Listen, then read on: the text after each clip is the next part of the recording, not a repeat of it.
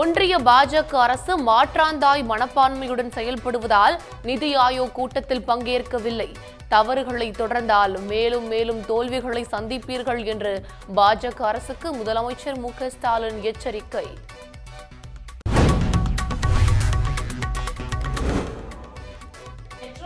மாநில அரசின் திட்டம் என்றால் ரயில்வே துறையை மாநிலத்திற்கு கொடுத்து விடுவீர்களா? பட்ஜெட்டில் நிதி ஒதுக்காத ஒன்றிய பாஜக அரசுக்கு முதலமைச்சர் மு ஸ்டாலின் சரமாரி கேள்வி.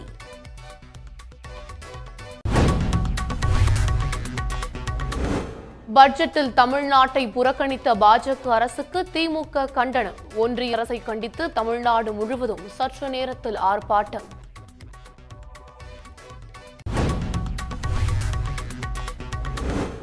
ஒகேனக்கல் காவிரி ஆற்றில் ஒரு லட்சத்து பதினைந்தாயிரம் கன அடி நீர்வரத்து பரிசல் இயக்கவும் அருவிகளில் குளிக்கவும் பனிரெண்டாவது நாளாக தடை.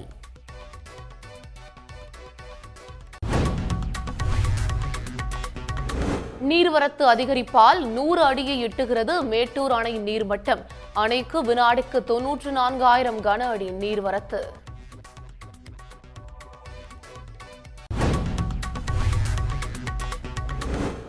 வழக்கு நிலுவையில் உள்ளபோது அதிமுக பொதுச் செயலாளர் என குறிப்பிட்டு எப்படி மனு தாக்கல் செய்ய முடியும்?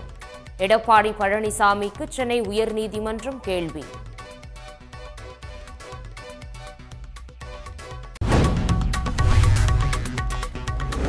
நீர்வரத்து அதிகரிப்பால் பில்லூர் அணையிலிருந்து வினாடிக்கு பதினான்காயிரம் கன அடி நீர் திறப்பு.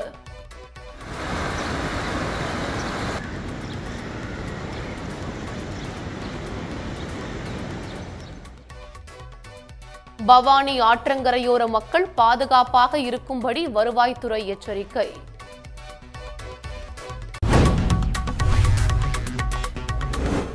தொடர் மழையால் கேரள மாநிலம் இடுக்கி மாட்டுப்பட்டி அணை முழு கொள்ளளவை எட்டுகிறது. பாதுகாப்பு கருதி அணையின் ஒரு மதகு வழியாக உபரி நீர் திறப்பு. இலங்கையில் சுற்றுப்பயணம் மேற்கொண்டுள்ள இந்திய கிரிக்கெட் அணி முதல் டி டுவெண்டி போட்டியில் இலங்கையுடன் இன்று மோதல். உடனுக்குடன் செய்திகளை தெரிந்து கொள்ள சன் நியூஸ் பெல் ஐக்கான கிளிக் பண்ணுங்க.